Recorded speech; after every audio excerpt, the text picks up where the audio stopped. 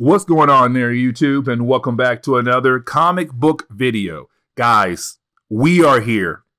We are here. Inferno. This is beautiful work. Now, of course, while I'm recording this, this came out two years ago, but I finally sat down and I read it because, as you know, I was reading every single X Men book except like one title, really two titles, to get caught up on the X Men books so that when I finally sit down and read Inferno, I have the complete picture and get my mind ready for this heck of a story. It is honestly really great because this shows Jonathan Hickman wrapping up everything that he had worked on ever since 2018 when he took over the X Men titles with House of X and Power of X even with X of Swords, with the Hellfire Gala event, Dawn of X, Reign of X, all the different X Men titles that this man was working on or he has some kind of insight on, it pays off right here with Inferno. And guys, I have to say, it's one of the best stories I have read when it comes to X Men comics. But on top of that, do not get it confused with the 1990s Inferno event. It is completely different. It's just using the name because it's literally everything going down in this book. Everything is falling apart, but being rebuilt together again for a new beginning for the X Men books, so that the writers who come after Hickman can now do their own work with the X Men titles. It's literally Hickman setting everything up for the future of X Men comics, even though he is wrapping up his work with the X Men titles. It is a beautiful, well done story. Guys, let's go ahead and get into this.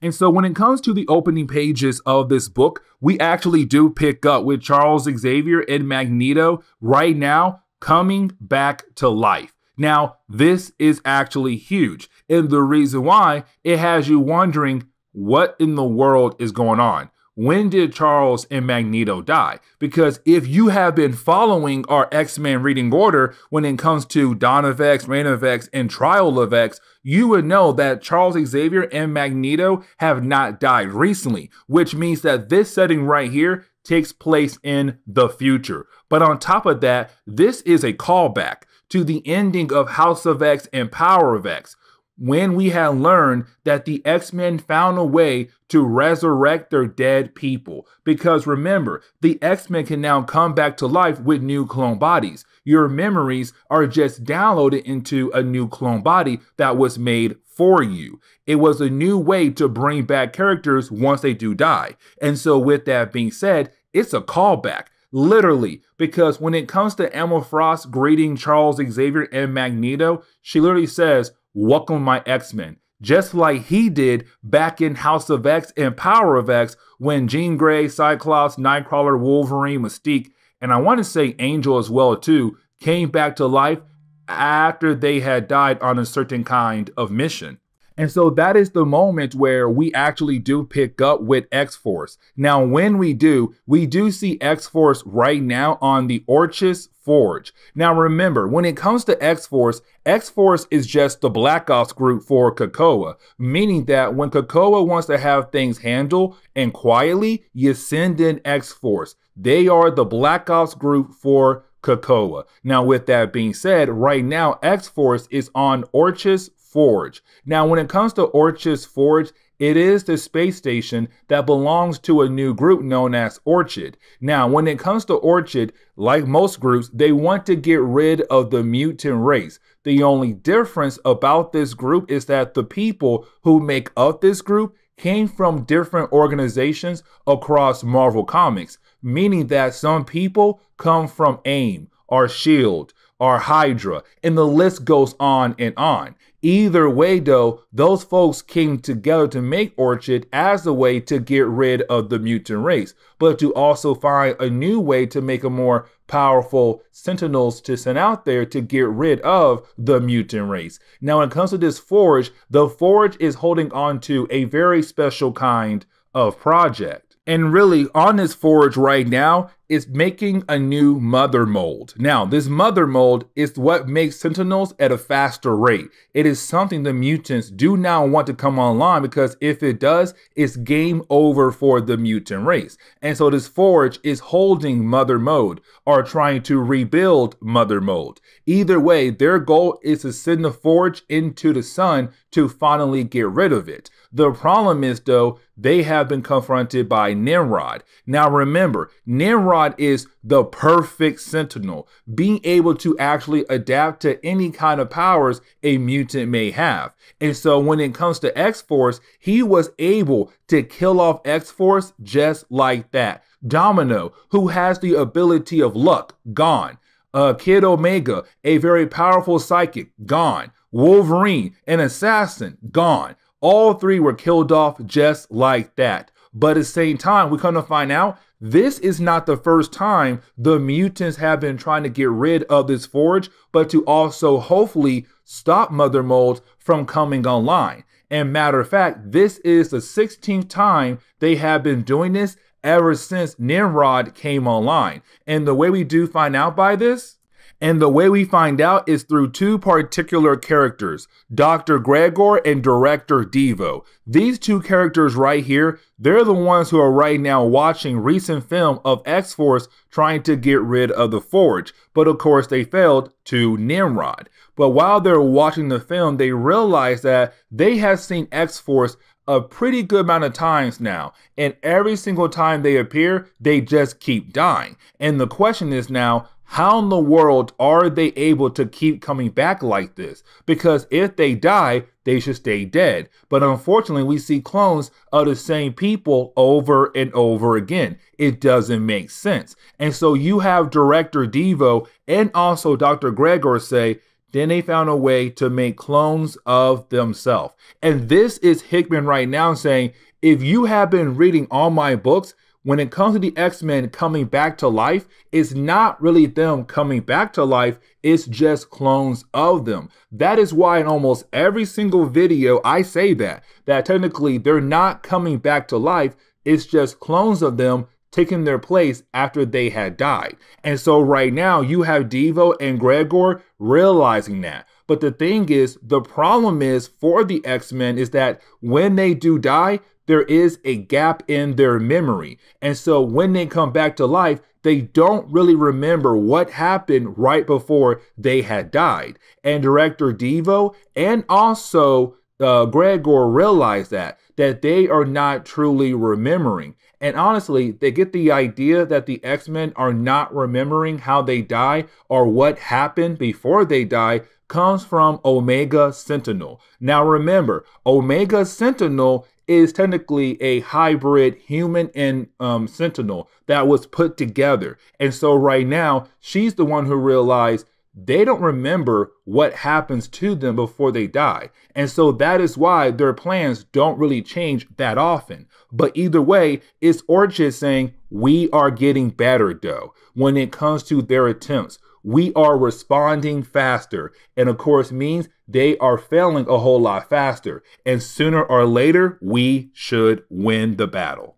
And so now we jump into the main content. Yes, I said the main content because everything we covered so far was just literally prelude stuff. And now we get into the real stuff. And matter of fact, we pick up with Moira Taggart. Now remember, when it came to Hickman, he told us with a huge retcon back in House of X and Power of X that Moira Taggart is not a human. Matter of fact, she is a mutant. And that was huge because for years in X Men comics, she was just a human, a close friend to Charles Xavier. But of course, by now, she is a mutant, a huge retcon. Now, on top of that, she also has the ability to reincarnate. And what I mean by that, once she dies, she's able to relive her entire life all over again, but keep the memories of her past life.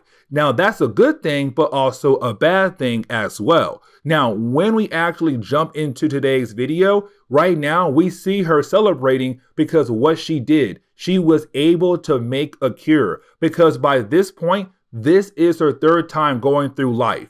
And so in her past lives, she learned what she was a mutant. But of course, she wanted to get rid of her mutant ability. And she wanted to help other mutants who also wanted to get rid of their mutant abilities. And so she made a cure. Now she thinks this right here is going to be a great thing because with the mutants out there who do want to keep their powers, they don't have to take the cure. But the ones who want to get rid of their powers, then they can take the cure. But you didn't have Destiny and Mystique appear. And the reason why? Because they know the true outcome of the cure. That when it comes to humans, they're not going to stop. They're going to take that cure and enforce every single mutant around the world to take the cure and get rid of their powers. Because again, humans are scared of mutants. It's always humans versus mutants. But on top of that, Destiny knows something very important about Moira Taggart, which is her ability, reincarnate. And she knows that when it comes to Moira, she's going to live a few more lives, possibly 10. But if she plays her cards right, she might be able to live a 11th life. And so right now, it's Destiny telling Moira something very important. And so that is the moment you have Destiny tell Moira Taggart about her powers, Destiny powers. Because when it comes to Destiny, she has the ability to see possible futures. Not for sure, but most likely possible futures. And so when it comes to Moira Taggart, right off the bat, she knows you're going to have 10 lives, maybe 11. But here's the thing though you're going to use your lives to actually help out your people because it's very sickening to think that you would use your ability to relive life over and over again to get rid of your people. Why in the world would you do that? Now, for Moira Taggart, she looks at mutants as a disease. Right now, a race that needs to go away. And it's Destiny saying that's where you're wrong because technically, we are the next step in evolution. We can do a lot of great things for the earth. Unfortunately, you look at us like humans do something as a problem, a disease, something that needs to go away. And unfortunately, that is the wrong way to think. And so, right now, it's destiny telling her, I'm going to force you to use your lives as a way to help your people. Because if you don't, I'll be there every single time to kill you because my powers manifest before your powers do. Meaning that if I find out that you try to kill me, don't worry, I'll make sure to protect myself. Because by the time you get your powers and try to kill me, I will be heavily protected. And so I'm going to force you to technically help us. And like I said earlier, if you play your cards right, there is a 11th life for you. Because here's the thing with your powers your powers have to manifest before you're able to actually reincarnate. Meaning that if I kill you off when you're a child, right before your powers manifest more, then you cannot come back to life again. And that's what I mean. If you play your cards right, you might get 11th life. But if you don't, then you're dead at your 10th. And so use your lives correctly to actually help your race but not to hurt your race. And so that what led into Krakoa because Moira did try to save the mutant race by trying different ways, working with Charles Xavier, working with Apocalypse, working with Magneto. And so with all those different lives, she got to this one right here, which led to Krakoa. But right before she had died in that past life with Destiny and Mystique talking to her, you had Pyro burn her but burn her slowly, so she'll remember to never cross destiny ever again. And so when we get into the present day, we actually do see right now Moira Taggart visiting her old lab. Now, in the past life, that lab was destroyed. But in this life, the lab was not destroyed, but she also has a journal. And when it comes to that journal, what's in that journal right now is Project Cure, which means that even though in the 10th life, where she had actually helped the mutants reach a new goal and hopefully help mutants save their future, she's still working on that cure. She's still trying to find a way to get rid of the mutant race.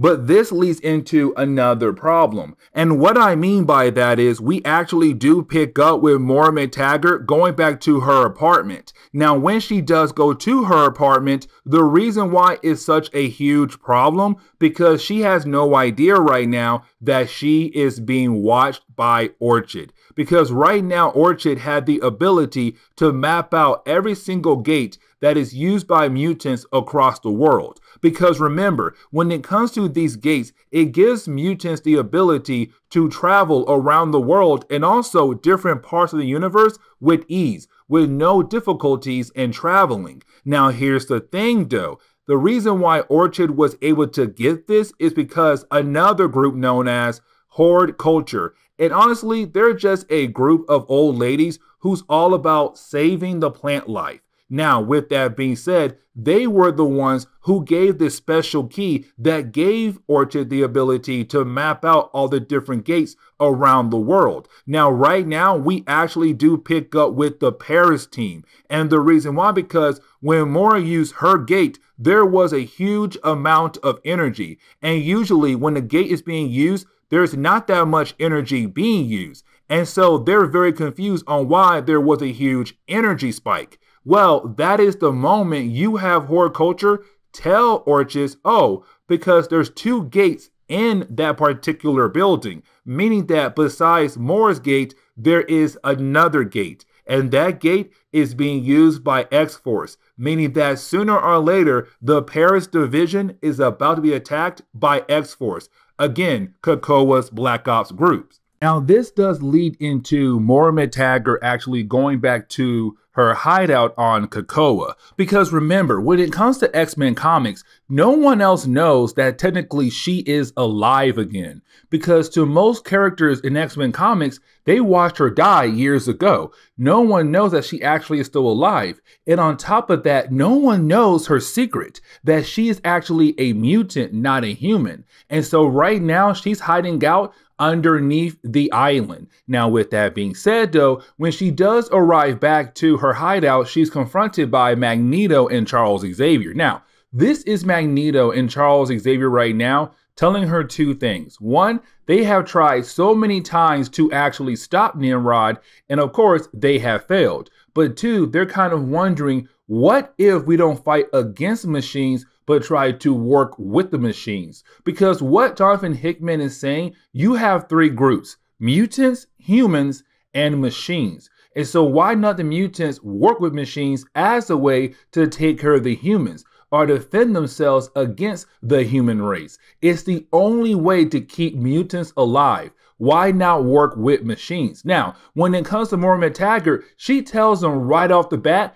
that is a bad idea the two things they need to worry about one is Nimrod, and two is Destiny. And the reason why, because remember, in this timeline, Destiny is dead. She is still dead. She has not been brought back to life yet. And what Moira MacTaggert is saying right now, you have to worry about Nimrod, but also make sure Destiny does not come back to life. Because if she does, she will ruin everything you built here on this island. Now, on top of that, as well, she does find out that Charles Xavier and Magneto have been keeping tabs on her, been watching her, following her, all her different moves. And of course, she does get upset by that, but she has no choice because they want to make sure that she is okay. Now, to make sure that Destiny does not have the ability to actually come back, she wants Magneto and Charles Xavier to do two things to make sure that Destiny cannot come back. And so, first, she tells Magneto make sure to destroy all the backups of Destiny. Because remember, every mutant has a backup stored in Cerebro as a way for Charles Xavier to make sure that once your new body is made, your new clone body, he'll be able to actually download your memories into that new clone body. And so right now is her telling Magneto, I need you to go ahead and delete all the backups for Destiny. All her backups in Cerebro gone now. And you have Charles Xavier go see Mr. Sinister. And the reason why, because he's holding on to every single DNA sample of mutants left and right. And to make sure that Destiny cannot be brought back at all, we had to destroy her also her DNA samples as well to definitely make sure there is no possible way for her to come back at all. And so you have Charles and Magneto right now going to the island to get the backups going to see Sinister to get the DNA samples and destroy both backups and DNA to keep Destiny from coming back to life. Because the more, if Destiny does come back, it could ruin everything for Krakoa. But then we pick up with Cypher. Now, when we do, this is also very important. And let me tell you right now, Cypher is going to play a very important role here. And the reason why I'm saying that, because when it comes to Cypher, we have to remember that he has the ability to speak any language across the universe, to communicate with anybody he wants to. And so he was the only person able to communicate with Krakoa. No one else could do that. And so right now you have him going over to Krakoa to communicate and see how is everything going across the island. Now, he also has his friend Warlock here as well, and I'll explain more about Warlock down the road. But just know that Cypher is going to play a very important role here. Now, this is Jonathan Hickman also setting up things for down the road, like, for example, captains. Now, captains are very important to the island of Krakoa, and the reason why, because Unlike the Quiet Council, when it comes to the captains, they're the ones who protect the island from any kind of harm, meaning that if the island is under attack, they're the ones who lead the charge into protecting the island and getting rid of the enemies. And so right now, Cyclops was one of those captains. Matter of fact, he was the main captain. But this is him right now telling uh, the Quiet Council and the rest of the captains that he is no longer a captain. And the reason why? Because he's in charge of the new X Men team back in New York, and he wants to lead that team into a future of success. And so, right now, he's saying, I can't do both. I can't be captain and leader of the X Men. So he leaves. But with him leaving, he does promote Bishop to become the main captain of the island. And on top of that, Psylocke becomes a new captain for the island as well, to give her a new role ever since Hellions was canceled. And also Bishop because Marauders was also canceled. A new start for these characters on this island. But then we get into the best moment of the book. Well, the first chapter of the book. We still got three more chapters, guys, but we get in the best part because then you have the Quiet Council right now having a meeting. Now, another thing Moira MacTaggert had told Magneto and Charles Xavier to do as a way to make sure the island does not fail is to get rid of Mystique. Because if they keep Mystique around, Mystique is going to try to bring back Destiny. And if she does, the island is going to fall apart. Mystique is part of the problem with the island, according to Moira MacTaggert. And so right now, they're telling us their goal right now with this meeting in the Quiet Council is to remove Mystique. Now, before they can do that, you do have Charles say he wants to replace two empty spots in the Quiet Council. Now, right off the bat, you have Mystique say, Oh, I have an idea. And matter of fact, I have a mutant who'll be perfect for the spot or one of the two spots that are open right now. And I think Destiny should take a spot. Now, that right there is alarming because we just watched Magneto and Charles Xavier make sure there is no way Destiny can come back. But then, out of nowhere, you have Destiny appear. And that tells us somehow she was still brought back to life, even though we saw Magneto and Charles make sure there is no way for her to come back to life. And so when we get into the second chapter of this storyline, well, that is the moment we kind of find out that Mystique was the one actually behind everything when it came to us earlier seeing Magneto and Charles Xavier. Because remember, she and Destiny are technically married, or not married. I think they are wives. Either way, they are lovers. And so she's been trying to get her wife to come back to life again. And so when we saw Magneto earlier going to Cerebro and we thought he was deleting the backups to Destiny, nah, that was not him. Matter of fact, that was Mystique instead. She was the one who was actually pretending to be Magneto to get inside to get the backups for Destiny.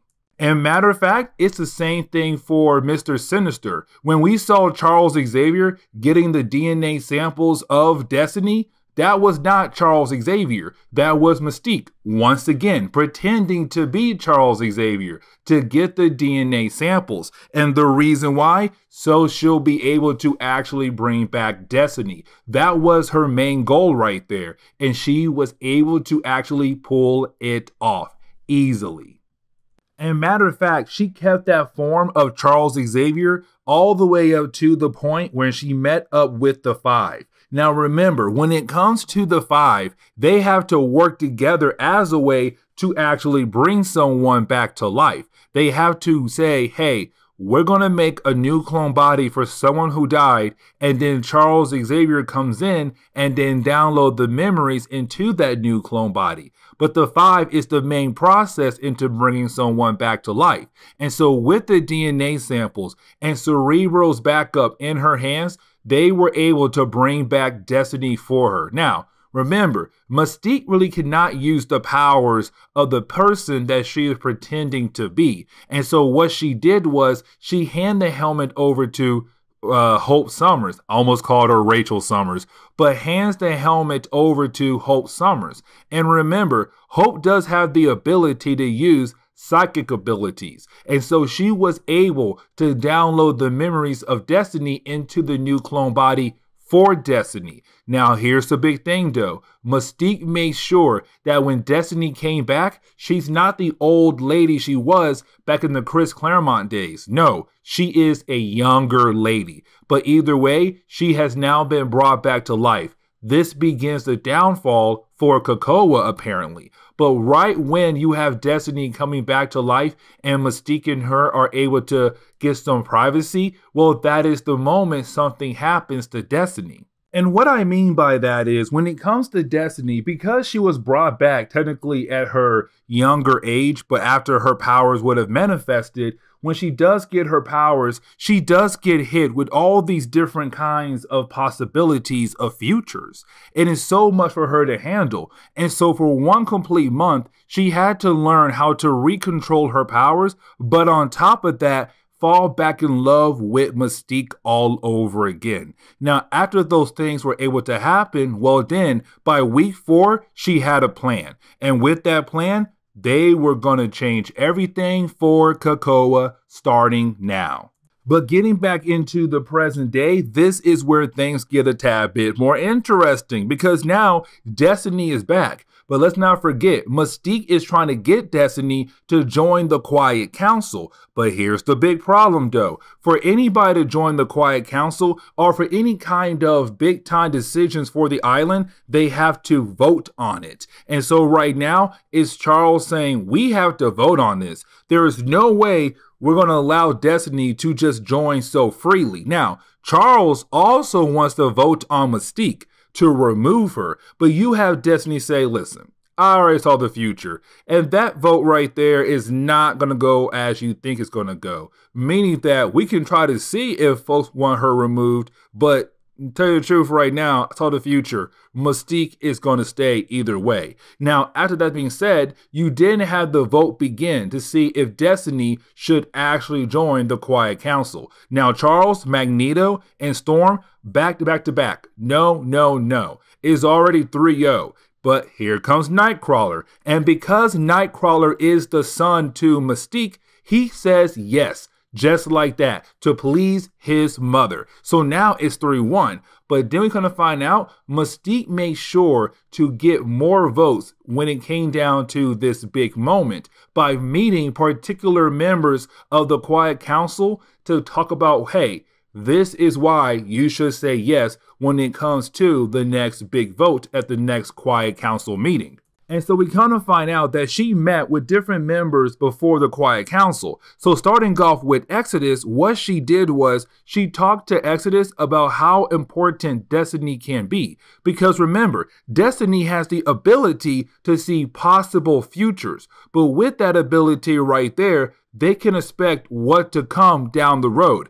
That right there is very crucial. And the reason why? Because to Exodus, he wants to make sure that Krakoa lives on forever. And so, with someone's powers like that, that dream right there could actually happen. And so, that's how, just like that, she was able to get Exodus' vote. And so then we see her go see Mr. Sinister. Now, when she does, right off the bat, you have Sinister tell us and her as well that he knew it was her earlier pretending to be Charles Xavier. Because let's not forget, Mystique does have shape shift abilities. But the thing is, she has to be a good actress. And so, right now, with Sinister, he's saying, Listen, I used to be an actor. And when it came to your acting skills, it wasn't that great. I knew it was you, but I didn't mind going ahead and handing over the DNA to Destiny. Now, the way she was able to get his vote is by literally saying, You know, Magneto and Charles are gonna want you to say no. And if you want to tick them off, you're to have to say yes. And just like that, he was down because he loves the idea of ticking off Magneto and Charles Xavier. Then this leads into uh, Sebastian Shaw because remember, he's also a member of the Quiet Council. But how in the world did she get his vote? Now, Mystique knew right off the bat that nothing she buys would definitely get him on her side because this is the man who has the ability to buy almost anything he wants to buy in the world or he finds intriguing to buy. And so, right now, she had to think of something different. And what she says is that you know Emma Frost is going to say no, which means that if you want to tick her off, all you got to do is just say yes, go against her vote. And just like that, you have Sebastian Shaw say, oh, you know what? You're right. I'm going to say yes to that idea right there as a way to tick off Emma Frost. So now she had another vote. But then she also gets Emma Frost. And this is huge because, again, she just told Sebastian Shaw that if Emma Frost says no, you're going to say yes. But he already said yes in the actual Quiet Council meeting. But we kind of find out Mystique still met with Emma Frost, and she was also able to get Emma Frost on her side by giving Emma Frost something very important, some kind of precious item. And I bet you this item is going to play a role down the road in later books. But either way, she now has Emma Frost on her side. And so, just like that, Charles Xavier had lost the vote. Destiny is now on the Quiet Council, and this is apparently the beginning of the end for the X Men. Because remember, we were told that if Destiny comes back to life, everything is going to fall apart. And right now, Destiny is brought back to life, and also she's now part of the Quiet Council, the government body for Krakoa.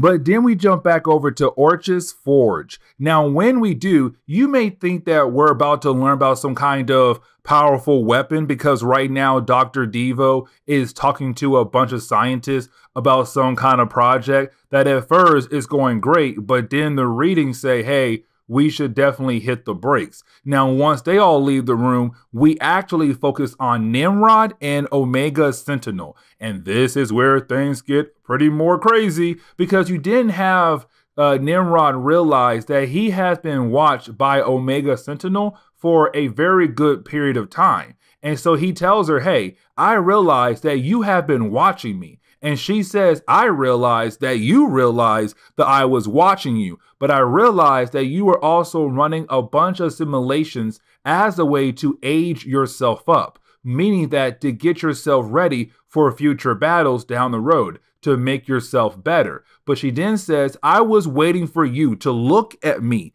and then recognize me, or actually recognize what's different about me, something special about me. And once he does look at her, that is the moment she says, It's about time for me to tell you something very important. And you're wondering, what does she mean by that? What is so important?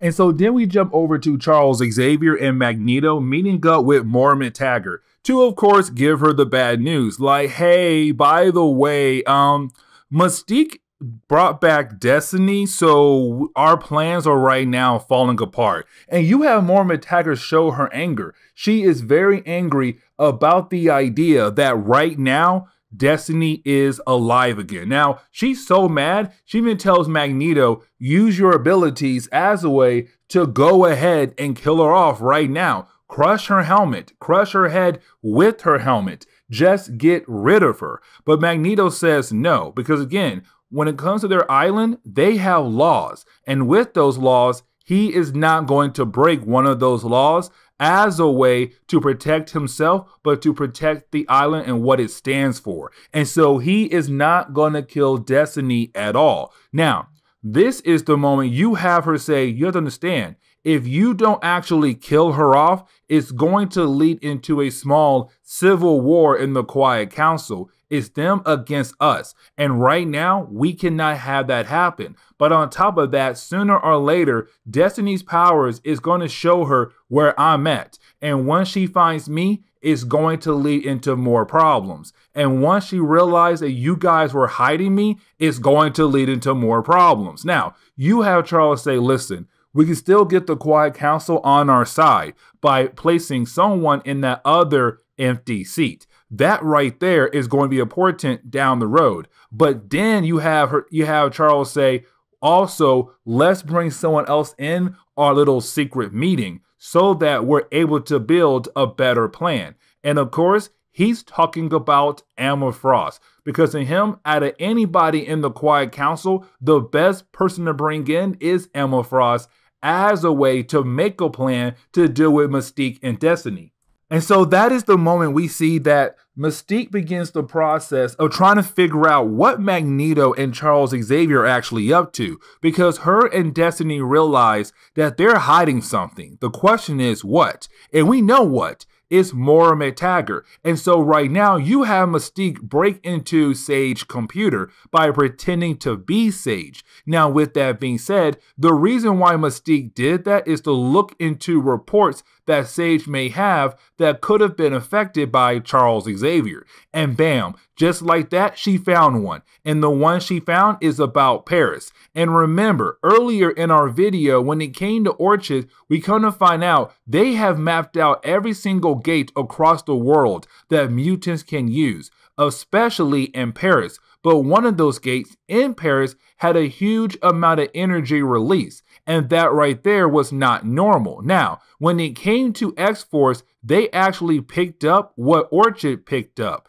Now, X Force was supposed to go check that out, but X Force did not. And the reason why? Because Charles said, do not go there at all. Do not go on that mission. And so neither X Force or Orchis went to that particular building to figure out what was happening at that building. And so you have Mystique actually go over to Orchis and pretend to be a scientist who actually worked there to hopefully get a better idea about what had Orchis so worried about a gate in Paris. But when she goes there, she actually finds out about their powerful weapon. And apparently, their powerful weapon has the ability to use the energy of the sun. And that right there terrifies her. But at the same time, she's still trying to figure out what did Charles and Magneto do about this huge amount of energy that came from one particular gate? What was so special about that gate? And we know what it was. It was Moira MacTaggert's secret gate to her Paris apartment. But then we get over to the meeting between Charles Xavier, Magneto, also Emma Frost, and Moira MacTaggert. Now, when this meeting goes down, it's just complete mess for Charles Xavier and Magneto. And the reason why, because as soon as they introduce Moira MacTaggert to Emma Frost, right off the bat, she says, Hey, something is wrong here. Because when I last checked, she was dead. And like I said earlier, when it comes to the rest of the mutant race, they know that Moira MacTaggert died, but they have no idea that technically she did not die. She is alive and well. And this is Emma Frost very confused on how the world Moira is here. But on top of that, why should she care for a human? That is something else to mention because when it comes to the mutant race, no one knows that she is actually a mutant except Charles Xavier and Magneto. That is it. No one else knows. And so right now, it's them telling Emma, actually, Moira's not human. Moira is a mutant. Now, at first, Emma cannot believe that because she knew Moira MacTaggert for years on years. But then when she reads her mind, bam, just like that, she knows everything about how Moira is a mutant, that her ability is reincarnation, that she had lived 10 lives, or this is her 10th life. But on top of that, though, she's trying to save the future of Krakoa. Now, with that being said, though, you have Emma Frost find out that Magneto and Charles have been lying to her the entire time. The whole idea of the island and everything else about the island came from this particular lie. And so you have Emma say, I understand how destiny could be a problem for Krakoa down the road, but at the same time, you guys lied to me. And because you lied to me, you have lost my loyalty forever. And she walks away. Now, she does promise to help them out, but when she walks away, Moira does mention that right there is going to be a problem. We have technically made Emma Frost an enemy to us now, and it could lead to more problems down the road. And so then we pick up with the next Quiet Council meeting. Now, this is actually very, very important because this pays off what we saw back in X Force number, I want to say 25. I could be wrong. But either way, remember, Charles Xavier came to a particular person in X Force asking to talk to that person. Well, when it comes to the Quiet Council, let's not forget, we still have one empty seat left. And so right now, it's Charles trying to fill that spot in. And we come to find out who he's trying to bring in. Now, before it's told to us who he's trying to bring in, you have every single member of the Quiet Council vote. And when the votes are all done, this new person is now part of the Quiet Council. And so you have Charles say, and now, guys, we may welcome Colossus. And remember, we saw back in X Force that Charles wanted to talk to Colossus. Bam, just like that, here we go. You have Colossus now part of the Quiet Council. And so then we jump into the third chapter. Now, when we do, we actually jump back in the past. And the reason why, because we're going to learn a tad bit more about the origin of Krakoa, how in the world it came all together. And it all started with Cypher. Now, really, I'm not going to sit down here and explain every single detail when it came to the island and how it was made and what kind of deal was done between Cypher and Krakoa. All you know is that in the past, Charles realized that the only way to fully understand the island is to bring someone who can actually talk to the island, and that is Cypher. Because remember, Cypher ability gives him the ability to talk to anybody no matter the language. And so he was able to communicate with Krakoa. And once he did that, he was able to make some kind of deal with Krakoa involving Warlock as well. And they were able to build some kind of system to make the island a place where mutants can actually live. And so he was able to accomplish his goal. But the main point of this section right here is that Cypher knows that he cannot trust Charles Xavier. And so even though he's right now going along with Charles' plan, he tells us, the readers, I still do not trust Charles Xavier. And so this actually leads into Cypher kind of really building a system that begins the process of bringing folks over to Krakoa. Because right after he arrived, he was able to make a system like, for example, the beginning of the idea of resurrection. With the five working alongside with Krakoa, they were able to bring back mutants who had died in the past by giving them new clone bodies and then download their memories into those new clone bodies.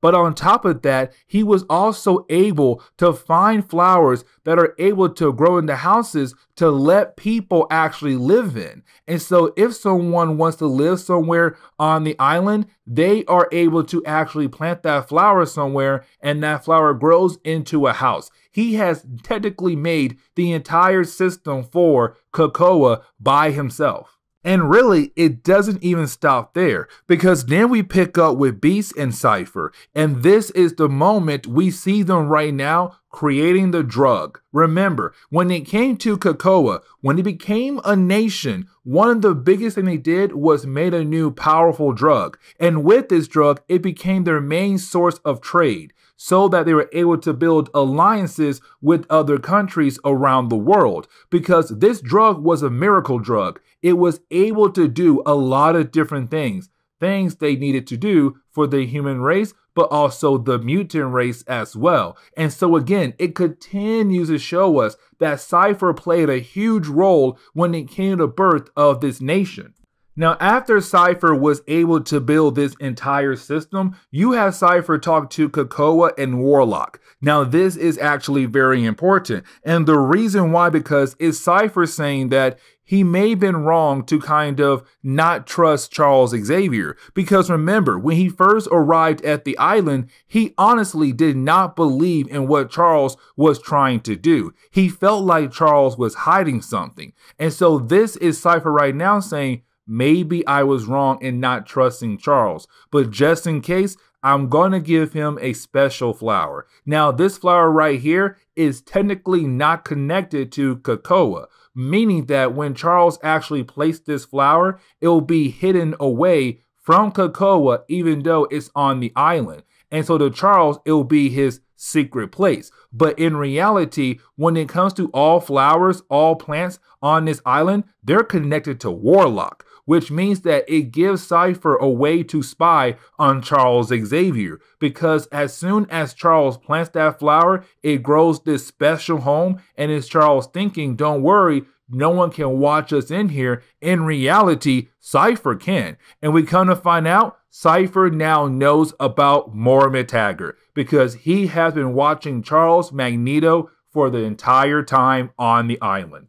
And so that is the moment where we actually do pick up right now with Mystique and Destiny about to meet up with Emma Frost. Now, before they're able to actually do that, that is the moment they are confronted by the Stepford Cuckoos. Now, remember, when it comes to the Stepford Cuckoos, they are just the clones of Emma Frost but at the same time, they're all connected to one another mentally. Now, with all that being said, you do have the sisters actually stop Destiny, and when they do, you have Destiny give them a prophecy. Now, this is a very huge prophecy because this is Jonathan Hickman basically saying down the road, something else is going to happen to the Stepford Cuckoos. Because what Emma Frost says is that, sorry, Emma Frost, what Destiny says to the Stepford Cuckoos is that two of them will find love. The other three will never find love. But one of them, something very dramatic is going to happen to them in other world. And that comes down the road. And then you have her just walk away.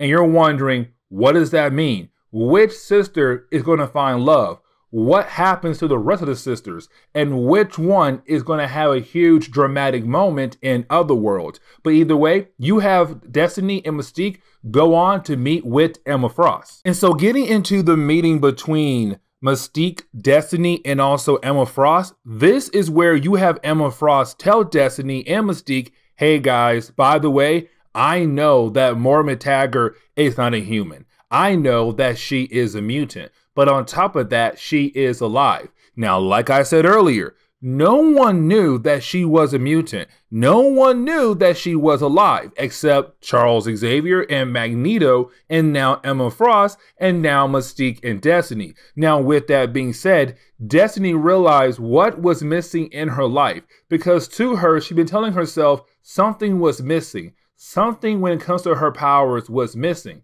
and now she knows it is Moira MacTaggert. And she was actually able to locate, not really locate, but now she can sense Moira MacTaggert, which means that now when it comes to Destiny powers, she fully understands everything about Moira MacTaggert. And that right there is a problem. Now, Emma Frost also tells them something very important, but she tells them that right after you have Mystique ask her, okay, whose side are you on? Now, Emma Frost says, There is no way I'll join your side. But at the same time, Charles Xavier and Magneto broke my trust. And so with that, I'm not on their side either. Now to Mystique, it sounds like Emma Frost is going to stay neutral and sit on the sideline. But she says, no, I have something to tell you, some kind of gift. And that gift is the location of where Moira MacTaggert is actually at. Now, here comes the problem. Because while we're talking about Moira MacTaggert, that is the moment she is confronted by a strike team that works for Orchis. And right now, they're here to take her away. And so it shows that somehow they were able to also find a location of where Moira MacTaggert was at. Either way, they are going to take her away, just like that. But then we jump over to Charles Xavier and Magneto. Now, these are just two friends talking to one another about the future for the mutant race. And right now, it's really more of Magneto asking Charles Xavier, does he know about the future? Knowing that the future is not going to be great between humans and mutants. That that bright future that Charles wants so bad is never going to come because humans always hates mutants. Now, with that being said, though, you didn't have Magneto tell Charles, do you also realize that Emma Frost saw through our lies?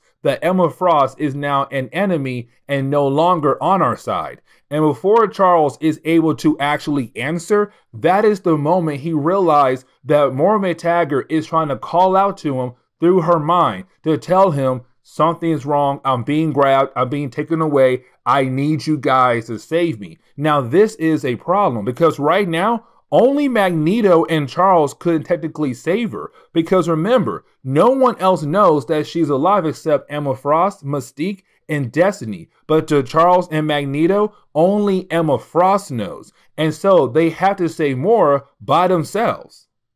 Now, guys, this is where things get crazy. Because then you have Omega Sentinel and Nimrod having a conversation. Now, when it comes to this conversation, you have Nimrod look at Omega Sentinel. Now, when he does look at Omega Sentinel, he realizes that she is not from this time. Matter of fact, she is from the future. And that right there is very, very huge because he realized that she has something very important to tell him. And she says, Yes, I am from the future, but here's the catch I am from a future where mutants have won. That right there, just that right there says a lot because what she's saying right now in the future, humans and machines had lost the war against mutants, which means that this timeline right here is destined to have the mutants win. And that, guys, is huge because when it comes to a lot of X Men stories, usually the mutants lose. The humans or machines win, but mutants always lose. Not always, but most stories they do. And so right now she's saying, no, this timeline is destined to have the mutants win. And what she says is that in her future, they made a Nimrod. They sent that Nimrod back in time. That Nimrod had failed because that Nimrod was supposed to help the humans or machines win the war in advance against mutants. But unfortunately, it failed. She didn't even said, even though machines and humans were both attacking the mutants, when Apocalypse came back with his family, bam, they lost the war. And guys, she doesn't even stop there because then she said the mutants took over the entire solar system. And matter of fact, we have already seen that right now. Not the entire, but two planets, Earth,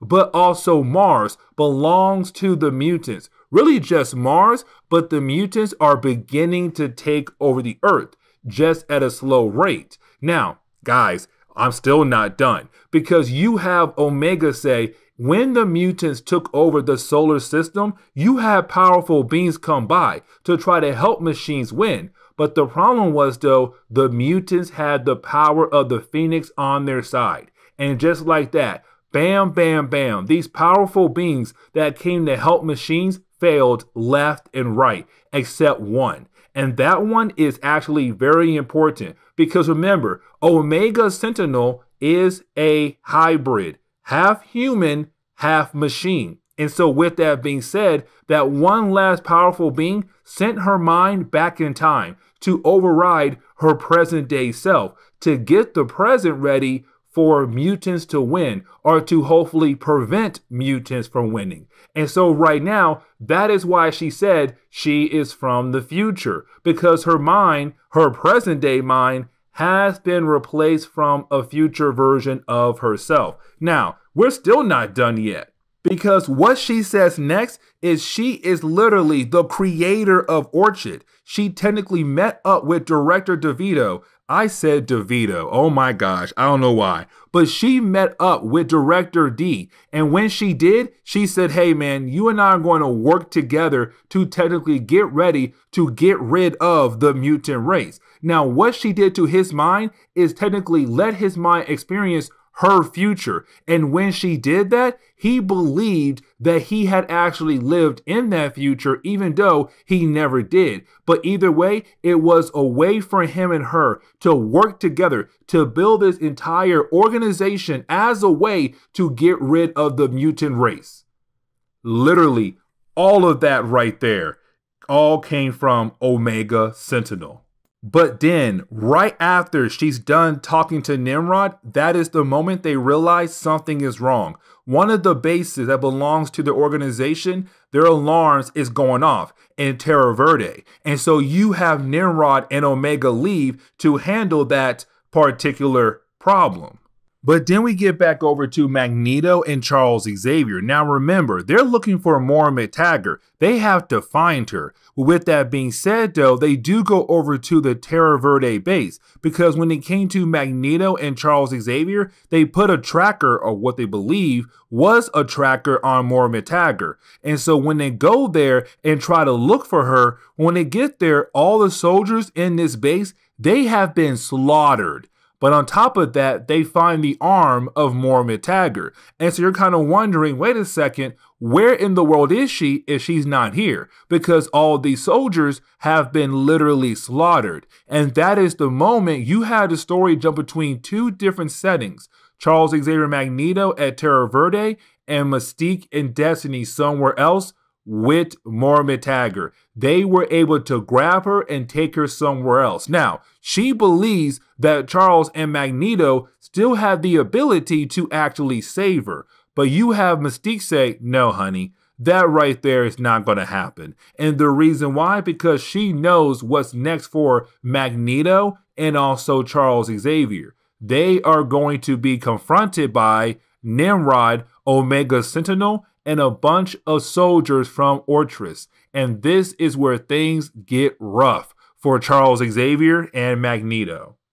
And so, getting into the final chapter of this storyline, and guys, we pick up with Magneto and Charles Xavier trying to figure out what in the world are they going to do. Because right now they're surrounded by Nimrod, Omega Sentinel, and a bunch of soldiers who work for them. And so right now, Charles and Magneto are technically screwed. But then things get a tad bit crazy because then you have Omega Sentinel go ahead and kill off all the soldiers that came with them. Now, the reason why? Because they are humans. And this is the moment her and Nimrod announced that because they're machines, they hate humans as much as they hate mutants. But on top of that, it's them saying your real threat here is no longer humans. Your real threat is us, machines. That is your real threat. You're trying to get that great future. Well, we're the only thing standing in your way. And so it does lead into a big battle between Charles Xavier, Magneto against Nimrod and also Omega Sentinel. But here's the thing, y'all. Charles is ticked off. He wants to know where in the world Moira MacTaggert is at because he has no idea that it was Mystique and Destiny. He still believes Omega Sentinel and also Nimrod did something with her, even though they said, hey, we did nothing to her at all. But again, he still believes they did because her arm is at this base. But either way, it does lead into a battle between these four characters at this base.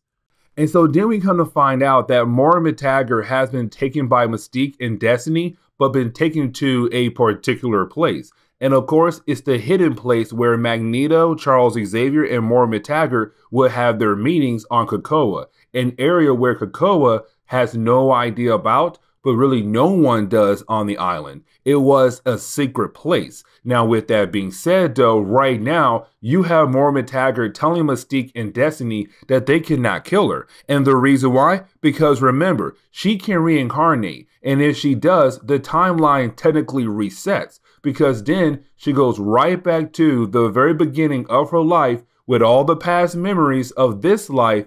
And then, of course, she's able to do whatever she wants to do. And so it could change the timeline completely.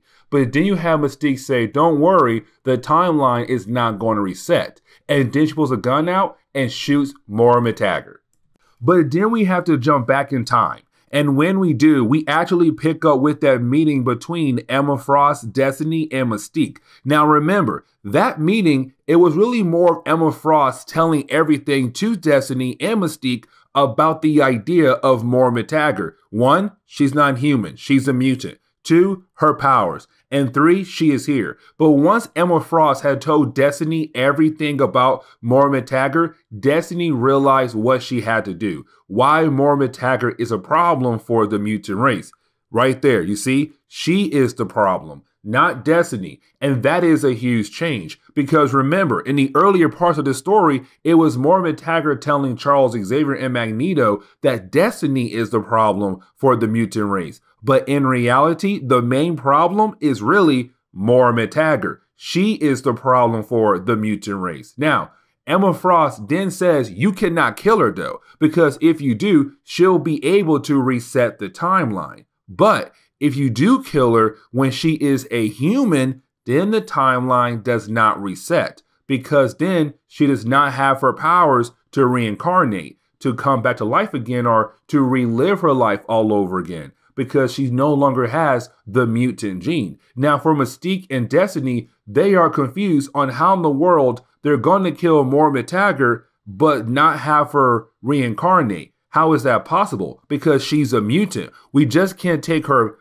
X gene away like that. But then you have Emma Frost say, no, there is a way because Forge made a gun. And when this gun, it gives someone the ability to take someone else's mutant abilities away. And so if they use the gun, they can take Moira Taggart's powers away. And it's the gun we saw earlier Mystique use on Moira Taggart, which means Mystique had just taken away Moira Taggart's powers in the present day.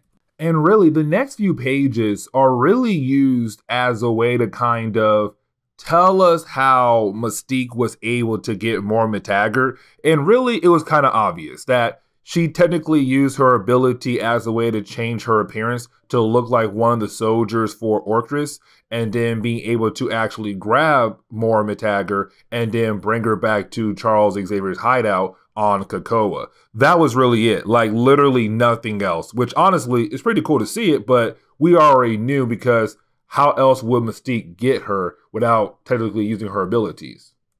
And so, getting back into the present day, we actually pick up with Mystique Destiny and Moira Taggart's conversation. Now, this conversation is actually very important. And the reason why, because right now they're going to kill her off because Moira Taggart is just a regular human being. Mystique did use the gun that was given to her by Emma Frost, the one Forge made to take away someone's mutant ability. But here's the thing though when they kill off Moira Taggart, she will not reincarnate. Her X gene is gone. The timeline is not going to reset. But then you have Destiny say, this is a nexus point. And what she means by that. So when it comes to Destiny's powers, she's able to see possible futures but she's also able to see outcomes of a certain moment, like what's going to happen in the future over a certain moment happening in the present day. But when it comes to this moment right here, she really can't see an outcome. She has no idea if this is going to lead into a bad thing or a good thing. Neither one. She has literally no idea. But it's them saying if we do kill her off, we can technically lock in this perfect timeline. Now, none of the characters here know that the future is that mutants win. But for Moira Taggart, she especially believes that mutants are going to lose. Because remember, this is her 10th life. And her first two lives were really just her realizing she was a mutant. Her third life, she made a cure. But life four through nine, she really did try to help out the mutant race. But the mutant race always failed, it always lost. And right now, it's her believing that in her 10th life, it's going to be the same. But no one here realizes, no one here in the present day except Nimrod and also Omega Sentinel know that the future is guaranteed. The mutants actually win. But for Destiny and Mystique, they believe in that future. And so they want to lock in this timeline to make sure that she is not able to go back in time to change this timeline. And so, yes, they are going to kill her off. But there's one more thing.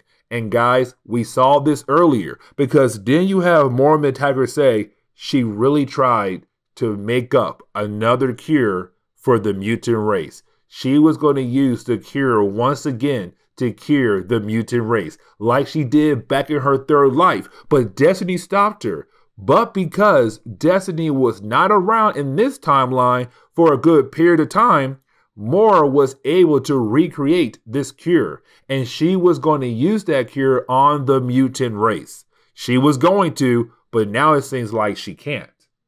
But getting back over to Charles Xavier and Magneto fighting against Nimrod and Omega Sentinel, their battle still goes on. It goes on for a few pages, up to a certain point where you actually have Charles Xavier powers get canceled out. And when his powers do get canceled out, you know that means he is now technically powerless, pointless. And so Nimrod is able to grab him, and you have Nimrod say, Stop right now. Now, at the same time, Nimrod was able to grab Charles, Magneto grabbed Omega Sentinel. And so right now, it's Nimrod saying, I'll let Charles Xavier go if you let my friend Omega go. Now, for Magneto, he does not want to go through this deal at all. He's down in killing off Omega and then going after Nimrod. But then you have Charles remind us, the readers, but also Magneto, if they die, they're going to forget this moment. Because remember, Cerebro does keep up all the memories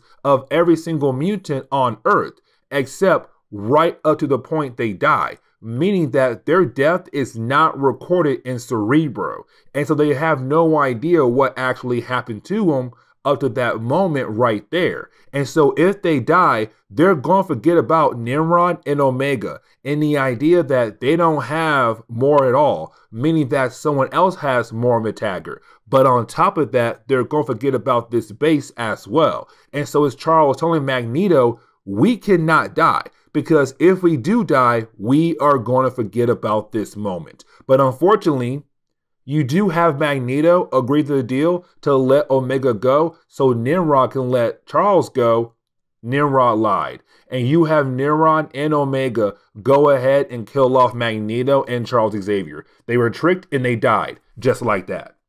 But getting back over to Mystique and Destiny, this is where you're going to have Mystique kill off Moira Taggart, except that is the moment you have Cypher appear. Now, when Cypher does appear, it's huge. And the reason why? Because it is Cypher right now saying, I've been watching everything, and you cannot kill her off. Now, the reason why Cypher is saying that, because Mystique and Destiny, who are now part of the Quiet Council, would be breaking a huge law. And remember, that law they made says mutants cannot kill humans anymore. And so, with that law being in effect, that means right now, if Mystique kills off Moira Taggart, who's no longer a mutant, she's now just a regular human, it would be them breaking the law. And they'll be sent in the same pits with Sabretooth and Toad. And Mystique and Destiny both know they do not want that at all. Now, you have Mystique say, you know what? I'll just kill you off. But then you have Destiny stop her. And the reason why she does stop Mystique, because Destiny knows that out of three futures, none of them goes in favor for Mystique. But on top of that, Cypher brought backup. Warlock, Krakoa, his wife. Right now, when it comes to Mystique, she does not stand a chance at all. But on top of that, it's Destiny telling her, I've seen three different kinds of futures. And technically, the first two does not go well for us at all. And so we have no choice but to actually let Moira MacTaggert go. Now, Destiny does say that she's having a hard time seeing a future for Moira MacTaggert, but she does know that Moira is going to have a long and hard journey in her future. A lot of hard choices, but those choices are going to decide her future. And so right now, Mystique has no choice but to let Moira go because her wife Destiny says, We literally have no choice here. This boy has stopped us from actually doing what we wanted to do. So, yes, let her go. But to wrap up today's video, we actually do pick up with that moment where you had Emma Frost bringing Charles Xavier and Magneto back to life. What we saw at the very beginning of this video. And right now is her saying that, listen, I kept you guys dead for a week, but then I had the five bring you guys back to life. But while you were gone, I told the Quiet Council everything you guys did. They now know everything, which means the Quiet Council as a group will hold on to this secret about what you guys did with this island, with Moira. But let you know right now, even though we're all guilty, Charles Xavier, you are the most in all when it comes to being guilty because it was you first who began this journey of keeping Moira a secret. And so, because you were first, you get to hold most of the guilt, but we all hold the rest. Either way, it ends with Moira being gone and Krakoa being able to live on, with Destiny being back, and now the Quiet Council knows the secret of Charles Xavier and Magneto. But this begins a new start for X Men Comics as Hickman leaves the book forever. Not forever. He might come back, I don't know, 10 years. Either way, it's over. And so, with that being said, guys, this is where we are going to end today's comic book video. So, please leave me a like down below and subscribe. But, guys, I'll see y'all next time. Later.